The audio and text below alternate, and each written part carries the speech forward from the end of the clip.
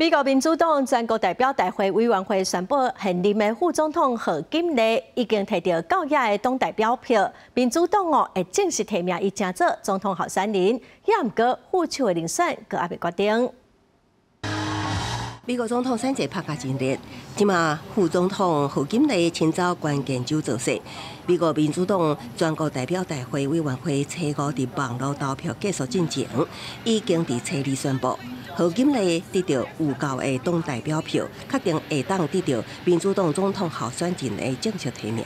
那伊也是美国历史第一位主要政党的 RAO 人女性候选人。I know we all feel this way so strongly. We love our country. We believe in the promise of America. And that's what this campaign is about.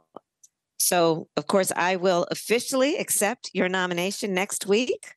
Once the virtual voting period is closed，虽然民主党无公布票数的细节，不过这个结果早已经是定局啊。因为除了何锦丽，无任何其他参选人。The outpouring of support we have witnessed for the vice president has been unprecedented.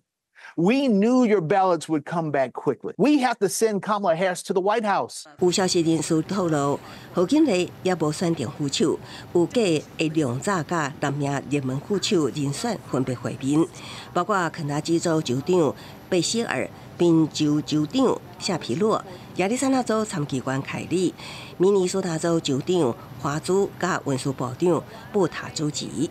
公司新闻新罗报电影。